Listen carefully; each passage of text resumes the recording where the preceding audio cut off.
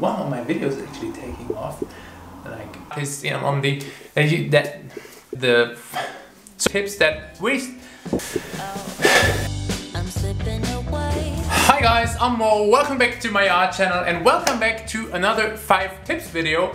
Uh, something really weird happened. My latest 5 tips for digital art beginners video is kind of taking off, which is crazy weird considering uh, I uploaded it like three months ago already. Um, we wouldn't be on YouTube if I wouldn't jump straight back onto the hype train and do another five tips art video for you. Let's jump straight in with tip number one, guys.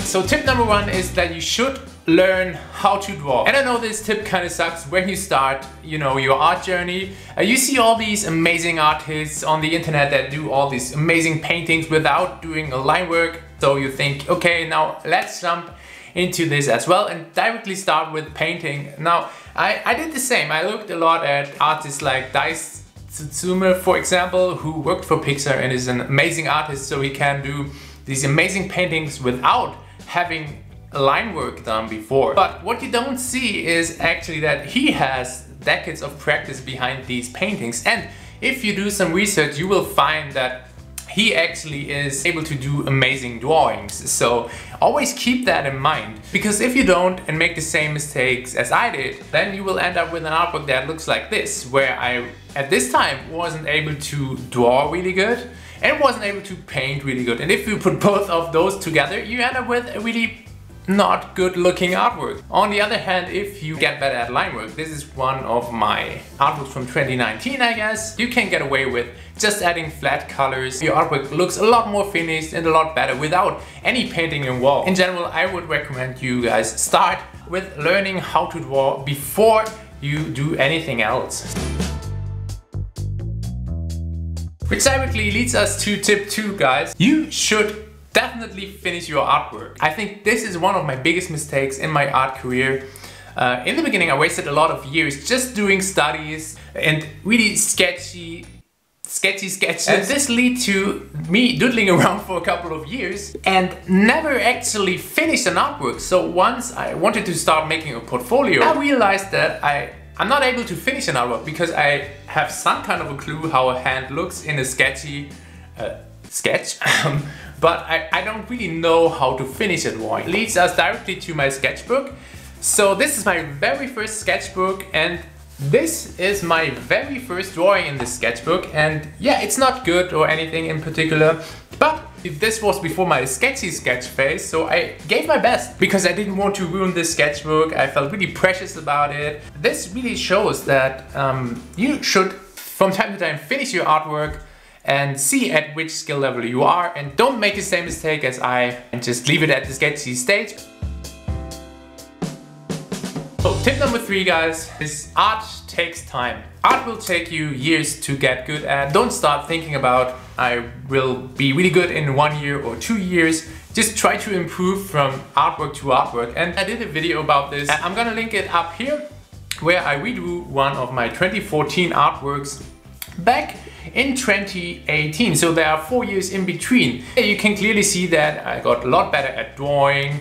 And uh, you know my coloring isn't wasn't really good in 2018 but I gave my best. And because my drawing was a lot better uh, the artwork looks a lot better. Now in between 2018 and 2020 I learned a lot. And so my artwork at the moment looks like this. So I think it's a lot better and you can clearly see the process and art doesn't only take time in this bigger picture also when you focus on a particular artwork. This artwork I did in two hours and then I spent six hours more and it looks so much different. Doesn't really matter at which skill level you are guys. Just put a lot more time into your art. Maybe try spending 10 hours, maybe 20 hours on an artwork. Which leads us to tip 4, uh, don't believe in talent. I actually read a comment on my YouTube channel. I always wanted to get into digital art and 3D modeling, but then I realized I have no talent and there will always be art better than mine. So what's the point? And uh, there was a, like a really good answer to this. Uh, I think it's stupid to say I have no talent. Nobody is born with skills and talent skills must be built up by the person during time. Yeah, this is really true. I think it's uh, a really great answer. So, by the way, thanks guys for um, you know having such a cool community who helps each other out and if someone feels a bit discouraged, I, am really appreciating that you guys jump into the comments and help this person out. And I can totally agree. I would say talent is just dedication and passion to something that it will drive you always back into trying again then this is talent for me and this is the passion that you need to get good at anything actually. And uh, then I think there is one percent that really is exceptionally good like guys like Kim Jung-gi who like can draw everything from all kind of angles without doing a, a specific underdrawing and stuff which but still he put in like 20 years of drawing daily into it. And if both of these things come together you have those really crazy, exceptional, talented guys. But for most of us, like the 99%, uh, it's just practice, it's just dedication. There's no such thing as talent, guys, so don't believe in it. Tip number five, which is start sharing, guys. Especially if you want to get one of those weird social media artists like I become more and more and like a lot of other people are, then you should start sharing your artwork as soon as possible. So it doesn't really matter if your art is good or bad, it will do two things for you.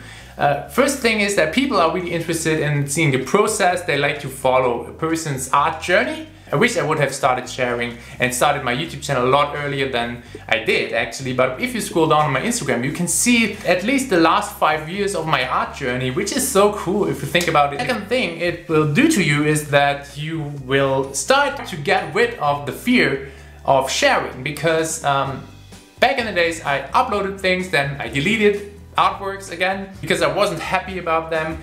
But if you start sharing really early, start sharing bad artworks like 200 bad artworks and slowly you get into posting better and better artworks and maybe in a couple of years you will be posting the most epic artwork on Instagram. This is really good for you to just lose the fear of sharing. So these were my five tips I wish I knew when I started back then. As I said, I waited a lot of years and I hope this video helped you to prevent some of those mistakes. By the way, if you want to learn how to draw and paint, uh, check out my Patreon where I post written and video tutorials every week where I put three minutes on the clock each Thursday and then we're gonna learn something new about art, drawing, painting, whatever it is. So maybe I will see you over there and if not, hopefully see you next time. So bye bye guys and keep on drawing.